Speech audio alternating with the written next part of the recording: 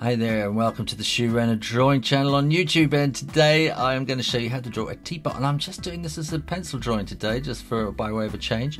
Uh, let's not talk about it while I keep fiddling about with this drawing. Let's do it.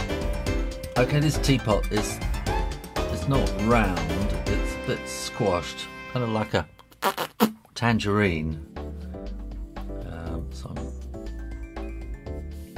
Kind of a tangerine shape. And then we want this rim around the top. And its shape is going to pretty much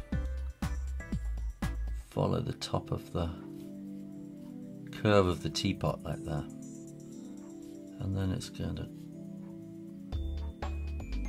come down like that, but don't don't draw a hard line all the way around. And then we're going to want a line here, which just comes inside of it, so you get the thickness of the the china. And then the lid is just sitting inside it, and we'll come just slightly above that that line of the, um, the, rim at the back, and then we want the, the knob on the top like that, which will just kind of attach onto the. Might make it a little bit bigger, like that. Okay, now the front of the teapot is here, so it's coming slightly slightly facing us. And so the hole where the tea will come out into the spout is going to be something like that. So if we can imagine, so it's probably a bit high. Anyway, imagine it coming out like that. And A little kind of an S curve there. And here you want a bit of a bulbous tummy to the spout. And then it will just kind of curl back on itself just gently like that. And then very, very carefully you want to put in the the opening where the tea comes out. That now feels really small on the the lid and I'm feeling that this should maybe be a little bit bigger. So I'm just changing it, I'm going along. Something like that, there we go. And then the spout, uh, the handle rather, will be coming out like that. So it's kind of flattish on the top and cuts across there, and then that will come around like that. And then it curves around quite nicely there, and you're going to get a similar curve coming in like that. So this is, you know, it's where the hand comes through. Now on the bottom here, we're going to want the the base So I'm gonna I'm gonna work on this bit here first. And I decided I would do this in pencil.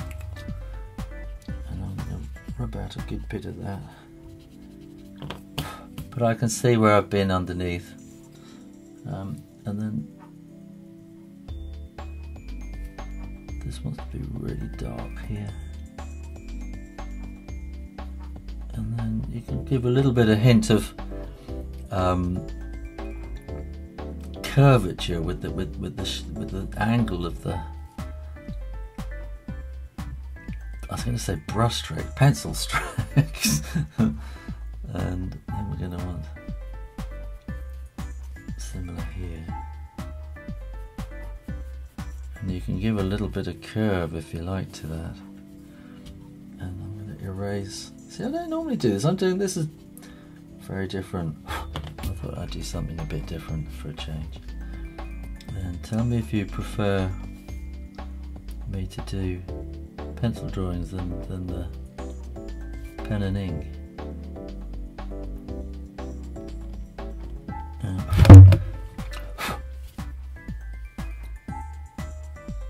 Very different. I kind of feel like I'm not talking quite so much, but then some people probably quite like that. I'm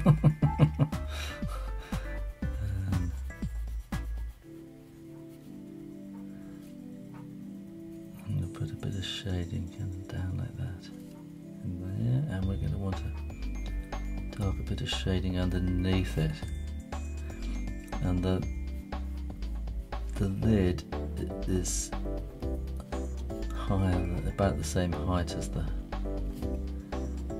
the rim I can't think of all the technical terms it's, it's, uh, it's the same old thing of trying to draw and talk at the same time some people say I get quite a few comments saying, really just shut up. And, but I feel I should be kind of talking you through it as I'm going along. I can't win. And that's going to be quite dark there. I got the light is sort of shining in this direction here. I'm turning the pencil on its side to get a a flat edge to the the graphite. Oh, that's too much of a flat edge.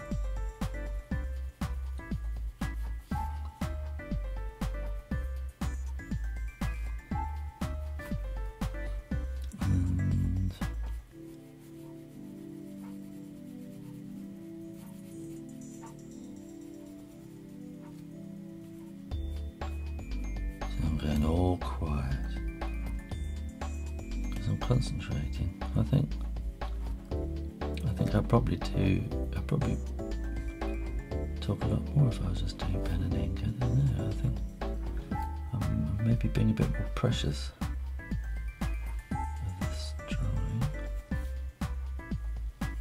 You'll have to tell me in the comments box below which which you prefer me to do. Uh, don't know how long, that's seven minutes, you see. I'm going to have to probably edit this down quite a lot. Let's do some speeded up bits. I suppose the reason I'm uh, doing this drawing is because I love tea and I drink an awful lot of it. Uh, I think my favourite cup of tea is around about three o'clock in the afternoon, and I make a special blend of strawberry tea, which is kind of black tea with bits of strawberry in it, and lapsang souchong, about half a spoon each, and this just makes a really refreshing cup of tea in the afternoon. I don't have milk and I don't have sugar, so uh, perhaps that's why I like weird teas because the sugar in the milk kind of takes it all away from you. These circles, these spots rather, they kind of help to give a sense of three dimensions to this, so these ones here should be starting to flatten out a bit.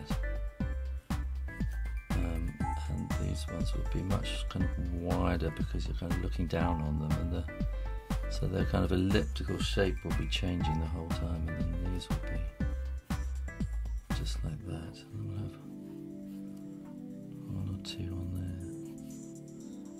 And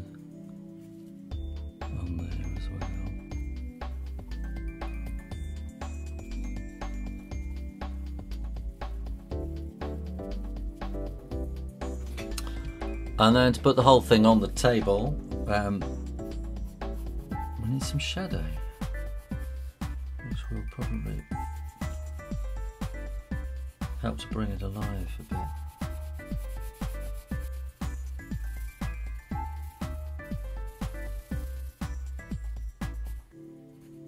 I don't really do a lot of pencil work like this, so uh, so there. People use blenders and things. I don't actually own a blender.